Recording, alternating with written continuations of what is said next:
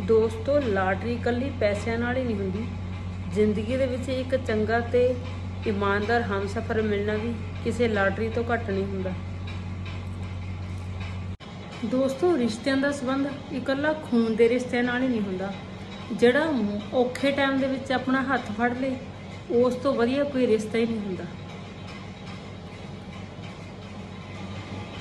ਦੋਸਤੋ, ਜੇਕਰ ਕੋਈ ਖਾਣੇ ਦੇ ਵਿੱਚ ਜ਼ਹਿਰ ਘੋਲ ਦੇ ਨਾ ਉਹਦਾ ਇਲਾਜ ਤਾਂ ਹੋ ਸਕਦਾ ਹੈ, ਪਰ ਕਿਸੇ ਦੇ ਦੁਆਰਾ ਕਿਸੇ ਦੇ ਕੰਨਾਂ ਵਿੱਚ ਭਰਿਆ ਗਿਆ ਜ਼ਹਿਰ ਉਹਦਾ ਕੋਈ ਇਲਾਜ ਨਹੀਂ ਹੋ ਸਕਦਾ। ਜੇਕਰ ਤੁਹਾਡੀ ਬਹਿਸ ਕਿਸੇ ਬਦਤਮੀਜ਼ ਇਨਸਾਨ ਨਾਲ ਹੋਵੇ ਤਾਂ ਹਾਰ ਮੰਨ ਲਓ।